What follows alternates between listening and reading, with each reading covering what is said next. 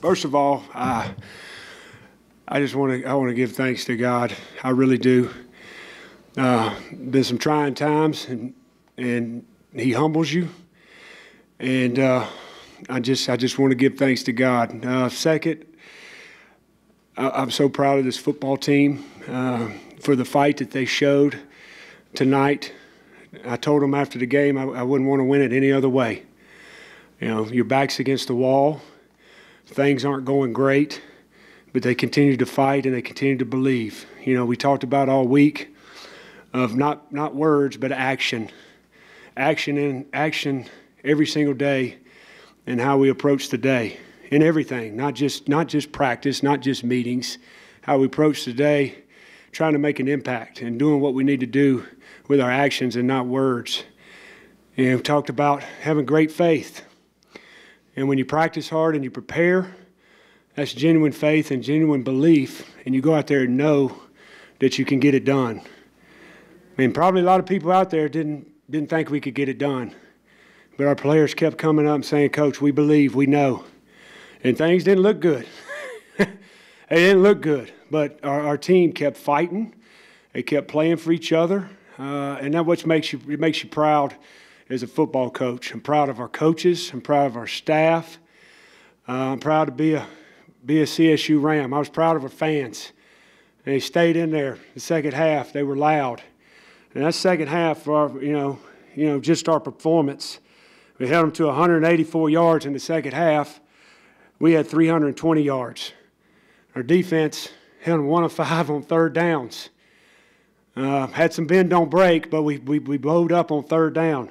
KJ Carta-Samuels went 22 of 27 in the second half. Made big play after big play, extending. And it just, just I wouldn't want to win it any other way than we did tonight. Uh, we're a long way from a finished product, a long, long way, but we improved.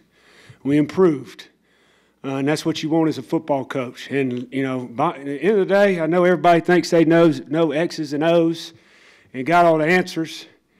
But everybody can tell if you're fighting and you're playing hard. That's what I tell them. My mama not, might not know what's going on out there, but she can tell if our guys play hard and play for each other. And that's what we did tonight. And I'm proud, to, proud to be a Ram, proud to coach this football team. You've had some big wins. Is, is this the most gratifying? Yeah, I mean, it's gratifying because of what we talked about this week. You know, what we talked about, what we had to do and talked about believing every single day. Talked about little belief is wishing. Talked about good belief is hoping. But great belief, genuine belief is knowing. And them guys, they they they bought, they play they play. You know, they might say, "Hey, we played for coach." They play for each other. That's what they did. They played for each other, and that's all you want as a coach to go out there and fight your tail off and play. And not to say we didn't play hard the first two games. They played hard. All right? But we, but we did it in a week. We corrected things. Guys were flying up. We were getting run over a lot. we were getting run over a lot. Safeties were getting run over. It was second and six and second and four a lot tonight. But they kept throwing their hat in there. They kept throwing their body in there and, and sacrificing for the team. And I'm proud of them. On a night when a lot of people would have accepted a moral victory, really what was the moral that you kind of wrote in that fourth quarter? Well, I mean, it's what we talked about all week. It's, it's back to about to knowing, knowing that you can get it done, and and and, and there wasn't a, there wasn't a doubt. I love the look in our guys' eyes uh, all week. I mean, Monday was a great practice. Guys were saying that's a practice, coach. I mean, they didn't they didn't they didn't they didn't fault they didn't faint in the face of adversity, and and that's hard for really anybody to do. That's hard for a grown man to do. But 18 to 22 year olds, when they're in the, in, they got adversity, and people want to say what everything's going wrong, and they didn't faint. I mean, that's what we've been talking about since since since the preseason. Character now, having character every single day and every single moment, and that showed tonight. And uh, and again, that wasn't just the words, but that was the work that we put in, and hopefully we can take that from tonight to know what we did and get better and get better and get better. And I meant it when I said it last week. I don't doubt that we got a chance to be a good football team. I don't doubt that. Okay? I believe tonight, they're starting not to doubt it. So that's what we got from tonight. What was the magical answer that you did not have last week in terms of turning this team around? I, I mean, I mean, I, I don't know. That was that was last week. Uh, you know, uh, the magical answer, Matt, was really we just we went back we went back to work. You addressed the issues that were our issues uh, against CU. Uh, space was an issue. Uh, and I think tonight we handled space pretty well. They got the one speed sweep out on us when they got in space. We just we, we got the alley run and we kind of we kind of let up there inside out. Uh, but you know that was one play. But for the whole night, I, I think the safeties were supporting.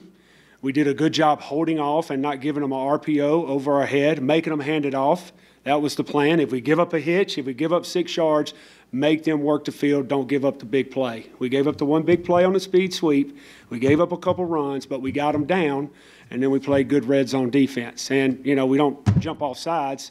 You know on the one field goal, we got another stop down there in plus territory. But you know it, it's going back to work and and you know addressing the issues you had and you know, limiting space and leverage. And I thought we did a better job of leverage. Again, we got it run over a couple times, but our safeties did a better job. We did a better job outside in. We didn't do nothing fancy defensively. We didn't do nothing fancy. We went to work, said, here's our calls. This is what we're going to do. We're going to play discipline, and we're going to play for each other.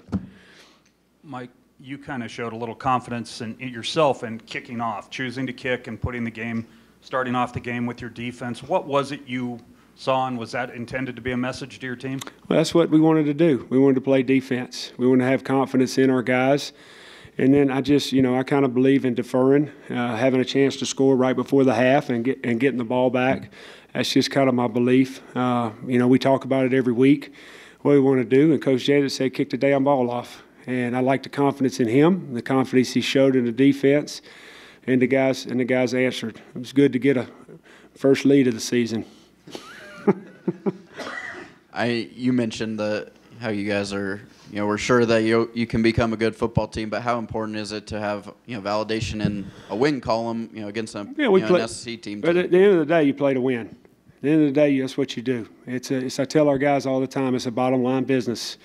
You know, you win or lose, and that's what you play the game for. I said we're not going to this game, uh, you know, anything less than expecting to win. Talked about being 0 2, and talked about the opportunity that we had as a football team, all right, to come play. Yeah, here comes Arkansas. Here comes an SEC football team. I'm glad we got them on campus. All right, but the opportunity for our football team is to go out and play an opponent and compete. And that's what they did, and they found a way tonight. Okay? We, hey, losing is bad for team morale, and winning is good for team morale. It's pretty, pretty simple. You guys have seen some some big performances from receivers with Michael Gallup a lot last year, but what can you say about what Preston Williams did in that second half? Well, I, I just, you know, I, I, he made big play after big play, big catch after big catch. Uh, KJ did a great job of extending some plays and buying a little bit of time. Uh, you know, and he, you know, here's a guy that ain't played football in, in two years almost, you know, and he's still a raw product. Uh, missed a lot of practice last year when he wasn't with our football team. Uh, but proud of that young man. I'm really proud of the whole football team. Uh, you got to have players make big plays in big moments, and there were a number of guys that made them. Preston Williams made them. KJ Carta-Samuels made them. Bisi Johnson made them. Emmanuel Jones made them on defense with the big sack. Uh, there was big play after big play by our guys, and you know we I mean we were Warren Jackson got hurt on Wednesday's practice, who's a dang good player for us, and can't say enough about Brendan Fulton coming out there playing tonight. You know, walk on, earned a scholarship, local kid, dad's a high school coach, made big plays. Got called for that holding. I don't think he held. He just got his butt ran over. But, uh, you know, uh, all, those guys. And, you know, the thing I'm proud of, uh, you know, because sometimes when things aren't going well, uh, not just the first two weeks, but within a game uh, of our offense, uh, you know, they didn't, they didn't, they didn't faint either. You know, I kept telling the coaches, give with your guys – Tell them to just keep playing. We're going to get a plan. It's going to come together. And uh, credit to those guys. Credit to Coach Letson. I thought he did a great job uh, in the second half uh, of dialing up plays and giving our playmakers a chance uh, to, to make plays. And, uh, you know, I, that offensive staff, I can't say enough about them. You know, with what I've been going through and being out and uh, holding this holding this team together and just doing a, doing a great job. Mike, being on the field through the pain with games like this, your players see it, the toughness you have to show. Yeah, I mean, I, you know, it was hard that first week sitting in the box, you know, getting out of the hospital late in that week, and uh, it just doesn't feel right sitting up there with those guys. Uh, you want to be down there with them. Uh, you want to be out there with them every day, and uh, they know, you know, kind of.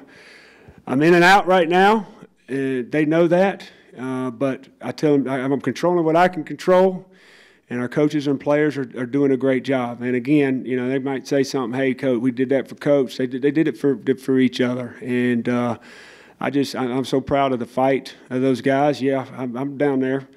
You know, I'm, I, my feet are numb already. I got pain. I told the trainer, I said, let's just shoot my feet up, and then may, I can't feel them anyway, so maybe I can not feel pain and, and just get somebody to hold me up. But uh, just about about fell down tonight a couple times, just just because I was proud of our guys. I'm getting a little better. I'm moving a little faster, um, but uh, I know I'm rambling. I'm just I can't. I just keep thinking about the Hey, team. It ain't about me.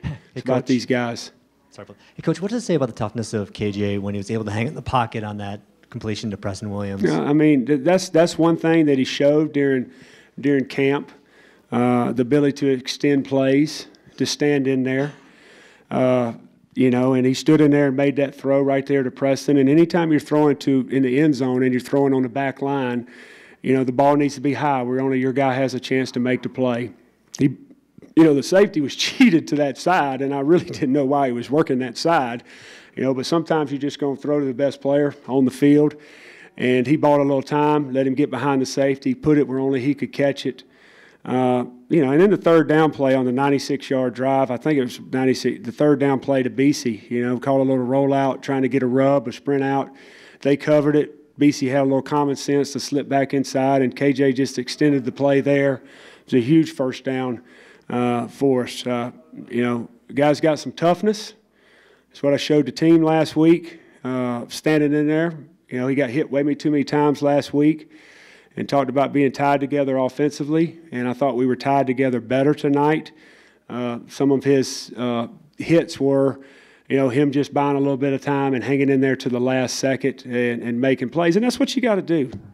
You know, you got to make plays. Sometimes guys make plays with their brains and getting us in the right play and getting out the, getting the ball out quick. And sometimes it's extending the play and making that play, you know, to win the game. And he did that tonight. Uh, that was great. What you know we did there at the end of the game, you know, to get the ball and finish it with a touchdown. You know, with eight seconds to go, and basically take the air out of the ball against them. And uh, you know, I mean, 20, 22 out of 27 in the second half, 291 yards, two touchdowns, with zero running game.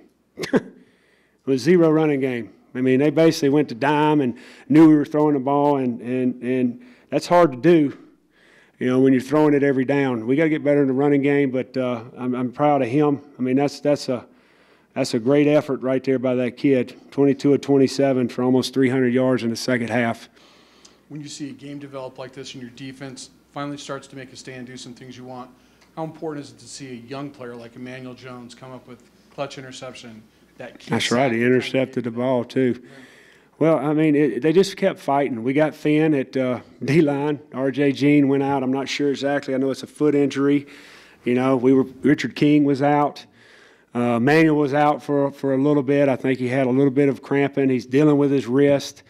Uh, I mean, that kid is a you know he he looks the part. He looks like one of those guys on the other sideline, an SEC player. This guy's played one year of football. He's raw. Uh, he makes mistakes, but he plays hard as hell. And, you know, that was a great job in coverage right there, but he kept fighting and got off and, and got the big boy down, which, which was a big play for us. And, and that's what we keep saying keep fighting, keep swinging. Uh, was happy for him. You know, he showed some toughness. You know, went down a couple times and, and we challenged him and he got back in there and um, just proud. That guy's only going to get better. Uh, you know, and that's that's just credit to our credit to our team.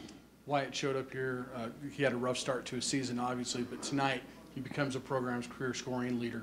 Uh, what can you say about the way he bounced back? Well, I mean, I, you know, everybody's been challenged on this football team. You know, coaches have been challenged, players have been challenged. Wyatt Bryan was challenged the first week. We opened up the competition, you know, and he didn't he didn't back down. Came out there with strong mental attitude.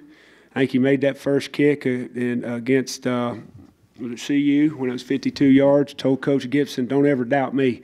I like it. I like it." Okay, because he has belief in himself. And then what a what a great feat! All-time leading scorer in Colorado State history. Here's a guy that's walked on. wasn't very good when I first got here, but a credit to him how he worked. Uh, he's one of the hardest workers in the in the off season too. Of just he, he don't want to do a kicker workout. He just works. And proud of him. And you know proud of that special teams unit tonight. You know we. Well, I think well, we had the big return. They took the clip off, but field goal, extra point, did a great job tonight. Those were huge field goals, uh, and a little bit of a swirling wind, and that's that's belief in himself, and I, I'm proud of him. When somebody gets challenged, and you go get challenged, you go get challenged. That's part of it as a football player. You want people to respond, uh, and that shows the character of that kid because he responded. Coach, after that long touchdown run from Arkansas in the third quarter there, were there any conversations on the defensive unit that you noticed on the sideline that maybe showed that they were going to lock down and, and kind of change change the momentum for the rest of the game? The long touchdown run by Arkansas. Yes. Who, who Shovel, shovel to for the, the speed sweep? Is that what we're talking about? Who's Marcus? Their guy? Did you say Marcus? No. The speed sweep. Well, the conversation was we got to do our job. You know, we got to run inside out. A uh, little hesitation by the backers running inside out. We didn't we didn't do our job, and they got challenged. They got challenged. You know that hey, you got to do your job. If you don't do your job, that's what happens, and you give up a big play. Uh, you know, and Coach Jancek was hot. You know, had to calm him down a little bit and say, you know, you know, challenge him, but do it in the right way. And uh, those guys responded. I mean, it gets it gets tense down there. It gets tense, and there's there's a bunch of men, and there's there's testosterone, and there's egos, and and and you know, it it, it gets fiery. And uh, those guys answered the bell. You know, they didn't they didn't grow weary. They said we're going to come back out and we're going we're going to play good defense and do our job, and that's what we did. Given the context of the 0-2 start, the, the health problems, just some of the fans being upset, where does tonight's victory rank amongst some of the moments in your football career?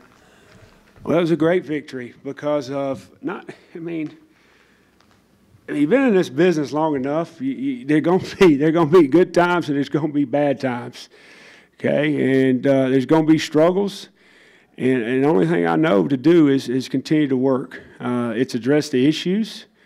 Uh, it's it's not shy away from, you know, what we are and and call and and, and answer when I not and call people out.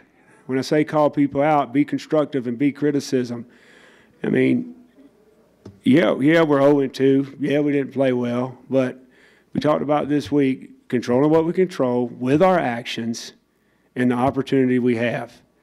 All right, and talked about, as I said again, ignoring the noise, not fainting in adversity, and buying in and working. You know, every, everybody wants a, you know, hey, what's the magical answer? What's the, at the end of the day, it's, it's work, man. That's what it is. That's, that's, that's, it, that's it. It's, it's believing in your family, all right? And every family's not perfect out there. There's no perfect program. There's no perfect family. Everybody's got issues. Trust me. Okay? But it's, it's buying in. You know, I mean, sometimes we, we want this answer that, you know, it's magical. It's work. It's what it is. Getting your butt up and going to work the next day. That's what you try to teach these kids. Coach, after some struggles in, in big games, rivalry games, and even in the bowl games, do you feel like you finally got the monkey off your back with this big win? And if not, do you think that this can be an example moving forward for the rest of the season? Yeah, what, what are we going to do from here? What are we going to do from here? It's like I told them, I've said I'm so proud of you because you fought, you believed in each other. We're not a perfect product by any means. What are we going to do from here? Okay, I told him, I said, I, I, I believe that we got a chance to be a good football team, but what do you do? What, what are we going to do from here? It's three games. It's what it is. It's three games. It's a long season.